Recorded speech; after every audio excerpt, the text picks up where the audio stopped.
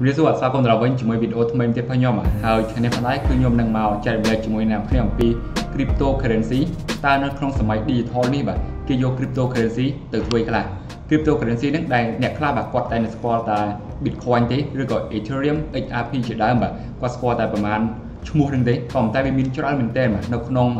ពិភពលោកយើងនេះគឺមាន cryptocurrency ឬក៏ coin ហ្នឹងច្រើនមែនទែនដែលអ្នកនរអាចទៅរកទិញបាននៅក្នុង Binance ឬក៏ website Coinbase និង exchange ផ្សេងផ្សេងបាទអ្នកគេរកទិញបានហើយយើងងាកមកវិញបាទថាតើអា cryptocurrency នេះក្រៅពីយើងទិញមកហូរទៅទេបាទតែគេយក cryptocurrency ទៅធ្វើខ្លះហើយនៅក្នុងសម័យ digital នេះទីផ្សារតាក់ទងនឹង cryptocurrency មានន័យខ្លះតើអ្នកនរអាច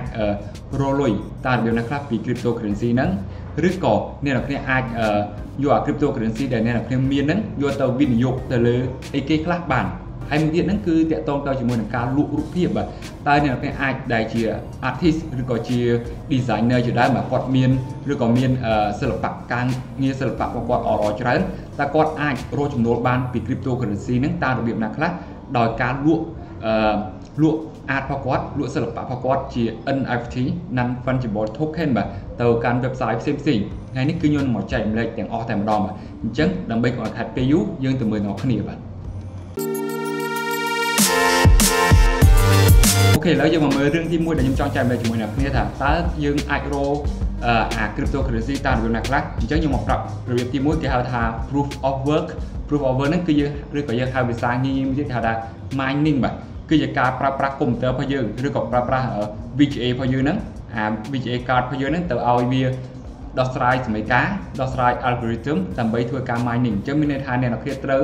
វិនិយោគជាមុនសិនបាទ តែសប្តាហ៍នេះបាទខ្លួនខ្ញុំផ្ទាល់គឺអត់បានទៅវិនិយោគអារឿងនេះទេខ្ញុំគិតថារឿងនេះគឺអ្នកគេត្រូវមានលុយច្រើនជាមុនបាទឬក៏លុយមួយចំនួនមួយដើម្បីយកទៅវិនិយោគទៅលើអាថ្លៃអ៊ីនធឺណិតថ្លៃភ្លើងជាមួយនឹងថ្លៃឧបករណ៍ដើម្បីទៅ mining បាទហើយអារឿងនេះនេះក៏ខ្ញុំគិតថាអ្នកខ្លះបាទខ្ញុំឃើញនៅស្រុកខ្មែរយើងក៏មានអ្នក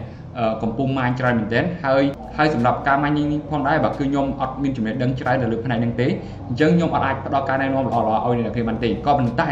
អ្នកគ្នាអាចទៅក្នុង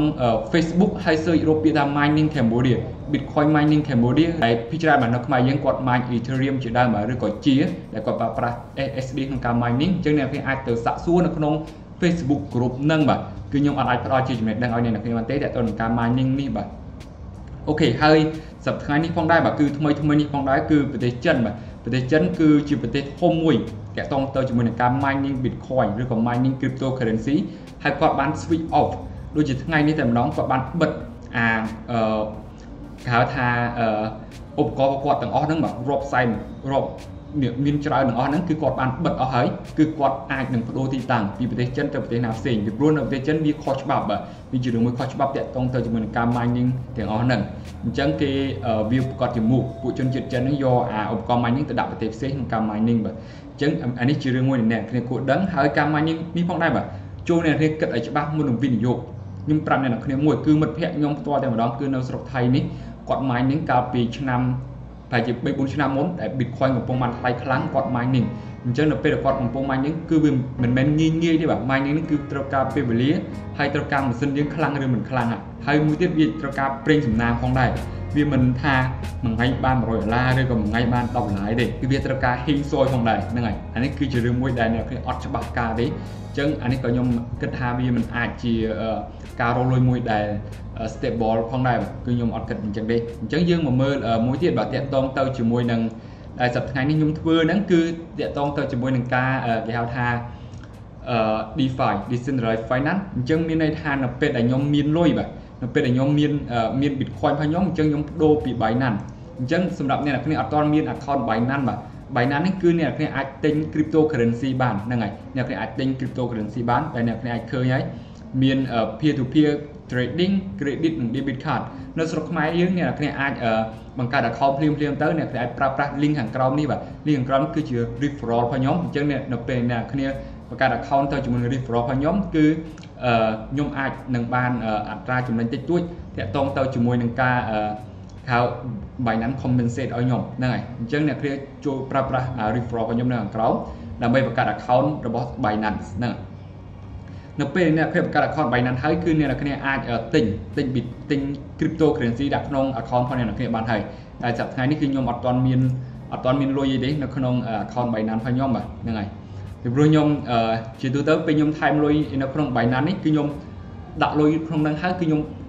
ផ្ទេរចេញខ្ញុំ withdraw ទៅកាន់ MetaMask នេះអានេះជាជា MetaMask របស់ខ្ញុំតែអ្នកឃើញ account ហ្នឹងហ្នឹងហើយអានេះគឺជា MetaMask របស់ខ្ញុំហ្នឹងហើយអានេះគឺជា account MetaMask របស់ខ្ញុំហ្នឹងហើយអញ្ចឹងខ្ញុំបដូរខ្ញុំ withdraw នេះទៅកាន់ MetaMask ដើម្បីធ្វើការគេហៅថាអីនេះទៀតទៅធ្វើការអឺ នេះដាក់ចូលក្នុង Pancake Swap ឬក៏វាឲ្យវាធ្វើការឲ្យខ្ញុំហ្នឹងហើយឲ្យវារលុយឲ្យខ្ញុំ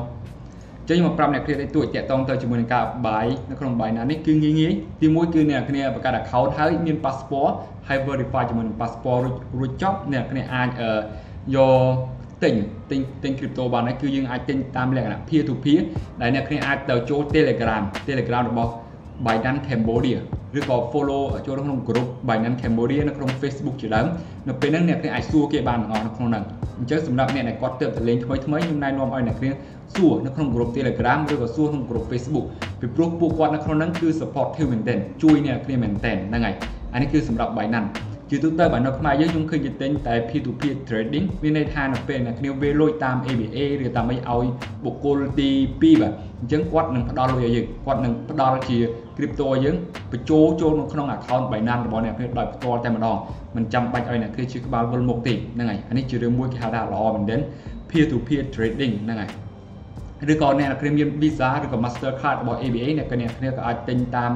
credit និង debit card ផងដែរបាទអញ្ចឹងក្នុងករណីអ្នកអត់មានអ្នកអាចទិញ peer to peer ក៏បានដែរហ្នឹងហើយអញ្ចឹងសម្រាប់អានេះគឺងាយងាយនៅពេលដែលខ្ញុំចង់ប្រាប់អ្នកគ្រាបន្តិចតាក់ទងទៅជាមួយនឹងការវេលុយពីអា Binance នេះទៅកាន់ MetaMask MetaMask ហ្នឹងគឺជាគេហៅថា third party wallet ឬក៏ហៅ trust wallet ជា digital wallet មួយគឺជាកប៉ៅមួយជាកប៉ៅមួយមួយខាងទៀតដែលមិនមែននៅក្នុង Binance នេះទេដែលអ្នកអាចយកកប៉ៅនេះទៅណាក៏បានដែរមិនចាំបាច់ចូលនៅក្នុង Binance ហ្នឹងហើយ នៅពេលអ្នកគេមាន cryptocurrency នៅក្នុង Binance មានន័យថាកប៉ៅឬក៏លុយរបស់អ្នកគេគឺផ្ទុកនៅក្នុងទូរបស់ Binance គឺអ្នកគេអាចយកវាទៅណាទៅណីឬក៏ប្រើប្រាស់នៅក្នុង application ផ្សេងៗវាពិបាកអញ្ចឹងភាគច្រើនគេភ្ជាប់ជាមួយនឹង MetaMask ដែលជា third party ជា trust wallet មួយផ្សេងទៀតបាទដែលអ្នកគេអាចយកវាទៅប្រើប្រាស់យកទៅចាយវាបានហ្នឹងហើយអញ្ចឹងខ្ញុំមកប្រាប់អ្នកគ្នាបន្តិចតាក់ទងទៅជាមួយនឹងអា MetaMask នឹងផងដែរនៅពេលអ្នកគ្នាបង្កើត វាយចូលពាក្យថា MetaMask ទៅគឺវានឹង load ឲ្យអ្នកគ្នាហ្នឹងហើយនៅពេលអ្នកគេចូល MetaMask នេះអ្នកគេចូលវាពឹបហើយអ្នកគ្នាអាចបង្កើត account មួយទៅបង្កើត account វាងាយងាយបាទអានេះគឺងាយមែនទែនសម្រាប់ MetaMask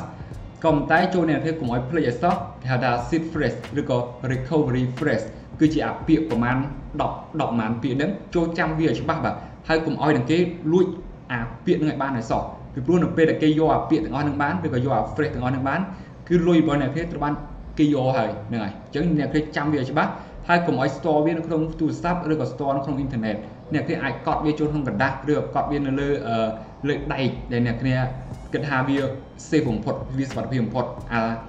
អា recovery phrase ហ្នឹងគឺសំខាន់ជាងគេសម្រាប់កប៉ៅរបស់អ្នកគ្នានេះហេតុអីបានជាខ្ញុំប្រើ MetaMask នេះបាទ ខ្ញុំប្រើ MetaMask នេះពីព្រោះខ្ញុំចង់យកអា crypto ដែលខ្ញុំមាននៅក្នុង Binance នេះទៅធ្វើ DeFi DeFi នេះគឺក៏ហៅថា decentralized finance មានន័យថាខ្ញុំយកលុយរបស់ខ្ញុំជា cryptocurrency ហ្នឹងជា Bitcoin ឬក៏ជា BUSD ហ្នឹងយកទៅដាក់នៅក្នុងនេះបាទអានេះគេហៅថា farming farming មានន័យថាវាឲ្យវាផ្ដល់ជាកម្រៃឲ្យខ្ញុំដែលសប្តាហ៍ថ្ងៃនេះគឺខ្ញុំ farm នៅក្នុងអាប្រមាណនេះបាទ BUSD BNB អញ្ចឹងមានន័យថាខ្ញុំខ្ញុំត្រូវយកអាលុយដែលខ្ញុំ convert ហ្នឹង ទៅកាន់ BUSD BNB ហើយវានឹងផ្ដល់ជាប្រាក់កម្រៃឲ្យខ្ញុំនៅពេលដែលអ្នកដែលអ្នកខ្ញុំឃើញគឺបើសិនជាអ្នកអ្នកប្រើប្រាស់1000ដុល្លារ Cake មានន័យថា Cake នេះគឺជា cryptocurrency មួយទៀតរបស់អា website Pancake Swap នេះបើសិនជាអ្នកអ្នកប្រើប្រាស់1000ដុល្លារបាទគឺមួយថ្ងៃអ្នកអាចរកលុយបានពីវាបានអត្រាកម្រៃមកវិញ0.003ដុល្លារ0.03ដុល្លារអញ្ចឹងមួយឆ្នាំអ្នកអាចរកបានប្រហែលជា11ដុល្លារជាងសម្រាប់ក្នុងក្នុងករណីរបស់ BUSD BNB ហ្នឹងហើយអញ្ចឹងអ្នកអាចមើល pool ផ្សេងទៀតអានេះបាទខ្ញុំសូមប្រាប់អ្នកគ្នារឿងមួយគឺជួបប្រយ័ត្នមែនទែនចំពោះ website ខ្លះបាទឬក៏អា decentralized finance ខ្លះវាវាលើសលប់ពេកវាផ្ដល់អត្រានេះអា APY APR ហ្នឹង APY នេះមានន័យថាក្នុងមួយឆ្នាំហ្នឹងនៅពេលអ្នកគ្នាគេហៅថា auto staking auto staking ហ្នឹង cake នេះគឺអ្នកវាត្រូវទិញវាបាទ មួយខេកក្នុងស្មើនឹង15.676ដុល្លារ15.676ដុល្លារអញ្ចឹងអ្នកគេទៅទិញខេកនេះជាមុនសិនមុននឹងបានយកវាទៅ stake បាន stake នេះគឺយើងដូចយកលុយរបស់យើងនឹងទៅឲ្យគេប្រើប្រាស់ដើម្បីបានបង្កើតលុយឲ្យយើងហ្នឹងហើយអញ្ចឹងមួយឆ្នាំអ្នកគ្នាអាចរកដើមមកវិញបានបាទគឺបើសិនជាអ្នកគ្នាដាក់1000 cake ឬក៏អឺ1500ដុល្លារអញ្ចឹងមួយឆ្នាំអ្នកគ្នារកលុយបានវិញ1500ដុល្លារអញ្ចឹងគុណ7ស្មើនឹង3000ដុល្លារអញ្ចឹងហ្នឹងហើយ ហើយអារឿងនេះផងដែរខ្ញុំចង់ឲ្យអ្នកគ្នាសិក្សាបន្ថែមហើយបើសិនជាអ្នកគ្នាអត់សូវយល់ត្រង់ណាច្បាស់អ្នកគ្នាអាចសួរខ្ញុំក៏បានដែរហ្នឹងហើយក្នុង comment ខាងក្រោមហ្នឹងអញ្ចឹងខ្ញុំប្រាប់អ្នកគ្នាបន្តិចបាទសម្រាប់អា DeFi នេះឬក៏ Decentralized Finance នេះវាគ្រោះថ្នាក់ក៏គ្រោះថ្នាក់ហើយវាចំណេញក៏ចំណេញក៏ប៉ុន្តែអារឿងចំណេញហ្នឹងគឺចូលអ្នកគ្នាកុំឲ្យគិតវាពេកបាទពីព្រោះតាមខ្ញុំលេងមកគឺអត់ទាន់បានចំណេញទេគឺមានតែខាតនិងស្មើដើមឬក៏ពេលខ្លះវាចំណេញតិចតួចបាទចំណេញតិចតួចមែនតើអញ្ចឹង step ខ្ញុំជាទូទៅបាទខ្ញុំអត់ទៅ farm governance coin ទេអា cake នេះគេហៅថា governance coin ប្រើប្រាស់នៅក្នុង pancake swap អញ្ចឹងខ្ញុំជាទូទៅខ្ញុំ farm អាណាគេហៅថា stable coin ជា coin ដែលមានតម្លៃបាទជាមានតម្លៃដូចដូចជាអឺ BUSD BNB ឬក៏ BUSD ឬក៏ USDT USD ជាដើមបាទខ្ញុំខ្ញុំខ្ញុំ farm អាហ្នឹង farm អាហ្នឹងមានន័យថាបើនេះអ្នកគេត្រឹមអត្រាកម្រៃហើយនេះ APR APY ហ្នឹងអញ្ចឹងបើសិនជាវាកាន់តែខ្ពស់វាអឺ មិនប្រកាសថា safe ទាំងអស់ទេខ្ញុំ farm លើកមុនបាទខ្ញុំប្រើប្រាស់ Iron Finance បាទនេះតែខ្ញុំនឹងមកបង្ហាញអ្នកគ្នា Iron Finance នេះវាស្តៀងគ្នាទៅជាមួយនឹង Pancake Swap នេះដែរក៏ប៉ុន្តែវាខ្ញុំប្រើប្រាស់ polygon មានន័យថាខ្ញុំប្រើប្រាស់នៅលើ matic chain ហ្នឹងហើយអញ្ចឹងខ្ញុំមកបង្ហាញតម្លៃឲ្យអ្នកគ្នាមើលបន្តិចបាទអានេះគឺជាតារាតម្លៃដែលខ្ញុំឲ្យអ្នកគ្នាជួបប្រយ័ត្នបាទអានេះគ្រោះថ្នាក់មែនតើអញ្ចឹងខ្ញុំសូមបង្ហាញវាក្នុងរយៈពេលសប្តាហ៍ចុះបាទ នេះអានេះគឺជាតម្លៃរបស់ governance coin របស់វាគឺនៅពេលថ្ងៃទី16ហ្នឹងគឺវាតម្លៃដល់ដល់63ដុល្លារគឺនេះមែនតើបាទគឺថ្លៃមែនតើក្រោមទៀតបាទក្នុងរយៈពេលមិនដល់មួយថ្ងៃផងបាទវាចុះនៅសល់47ដុល្លារពី63ដុល្លារនៅសល់30 37ដុល្លារហើយវាឡើងវិញឡើងវិញឡើង50ហើយក្រោយមកទៀតបាទវាធ្លាក់នៅសល់0អញ្ចឹងមានន័យថាវាគ្រោះថ្នាក់មែនទែននៅពេលដែលអ្នកគ្នាប្រើប្រាស់ពួក decentralized finance នេះ អញ្ចឹងអ្នកគេចូលសិក្សាវាច្បាស់បាទទៅអានគេហៅ smart contract ទៅអាន smart contract នឹងឲ្យច្បាស់មុននឹងអ្នកគេចាប់ផ្ដើមវិនិយោគទៅលើវាហ្នឹងហើយអានេះគឺខ្ញុំជារឿងទី2បាទជារឿងទី2ហើយតាក់ទងទៅជាមួយនឹងការ DeFi ឬក៏ decentralized finance ខ្ញុំមិនមែនធ្វើតែប៉ុណ្ណឹងគឺខ្ញុំប្រើប្រាស់ខ្ញុំខ្ញុំលក់ artwork របស់ខ្ញុំបាទខ្ញុំលក់ការងារសិល្បៈរបស់ខ្ញុំនៅក្នុង NFT ឬក៏វាមានច្រើនបាទចាំខ្ញុំបង្ហាញដល់អ្នកគ្នាទៅចោះបាទ NFT អានេះក្នុងករណីដែល អ្នកគ្នាជាគេហៅថាជា artist បាទជាសិល្បករជា designer ហ្នឹងគឺអ្នកគ្នាគួរតែមកសិក្សាពីនេះបាទសិក្សាពី NFT ហ្នឹងពីព្រោះវារលុយបានច្រើនជាងនៅក្នុង Shutterstock ឬក៏ Adobe Stock បាទក៏ប៉ុន្តែអ្នកគេត្រូវចាយលុយជាមុនមុននឹងបានចូលអា ជាឧទាហរណ៍ផងខ្ញុំផ្ទាល់គឺ OpenSea បាទគឺខ្ញុំលក់អានេះគឺមុននឹងខ្ញុំលក់លក់ចូលក្នុងនេះបានគឺខ្ញុំត្រូវការអស់លុយជាមុនសិនបាទគេហៅថា sell យើង pay one time មានតែយើងយើងចាយលុយតែម្ដងទេដូចជាពេលហ្នឹងខ្ញុំចាយអស់17ដុល្លារបាទដូចជា17ដុល្លារហ្នឹងឯង17ដុល្លារអញ្ចឹងខ្ញុំចាយទៅឲ្យអា platform នេះ17ដុល្លារដើម្បីលក់បាននៅក្នុង platform របស់វាអញ្ចឹងនៅពេលដែលខ្ញុំខ្ញុំផ្ទេរលុយពី Binance មកកាន់ MetaMask របស់ខ្ញុំតាមគេហៅថាតាមនេះបាទ Ethereum mainnet Ethereum mainnet គឺអ្នកគេត្រូវជ្រើសរើសថាជ្រើសរើសឲ្យច្បាស់មុននឹងគេចង់វាលុយទៅកាន់មក MetaMask ដោយប្រើប្រាស់ Ethereum mainnet ហ្នឹងគឺពេលហ្នឹងគឺអត្រាខាតខ្ញុំគឺ10ដុល្លារគឺវាកាត់ថ្លៃជើងសារ10ដុល្លារក្នុងការវេលុយពី Binance មកកាន់ MetaMask របស់ខ្ញុំតាម Ethereum mainnet ហ្នឹងហើយ ចឹងវាចាយខ្ញុំអស់ប្រហែលជា20 20ជាងដុល្លារដើម្បីបានលក់នៅក្នុង OpenSea នេះក៏ប៉ុន្តែ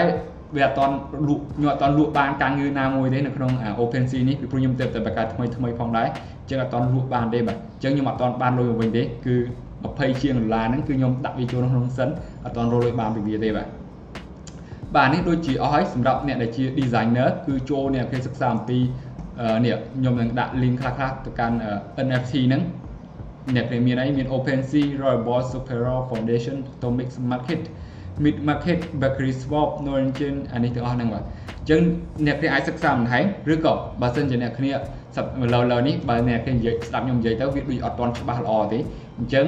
នៅថ្ងៃអនាគតបាទអ្នកគេឆ្ងល់អីអាចសួរខ្ញុំបានពីព្រោះខ្ញុំចែកម្លែកជាមួយអ្នកគ្នាដូចជាចង់អស់ហើយពីរឿងដែលខ្ញុំបានសិក្សាក្នុងរយៈពេលប្រហែលជាកន្លះខែនេះបាទ មកកន្លះខែនេះគឺខ្ញុំសិក្សាតាក់ទងទៅជាមួយនឹង cryptocurrency តាក់ទងទៅជាមួយនឹងបច្ចេកវិទ្យាថ្មីថ្មីតាក់ទងនឹង crypto ហ្នឹងអញ្ចឹងខ្ញុំសង្ឃឹមថាវាអាចជាចំណេះដឹងតិចតួចមកចែកម្លែកជាមួយអ្នកគ្នាមក update ចំណេះដឹងពីតាក់ទងនឹង cryptocurrency ហ្នឹងបាទអញ្ចឹងជួបគ្នានៅវីដេអូល្អៗក្រោយៗទៀតបាទបាយបាយ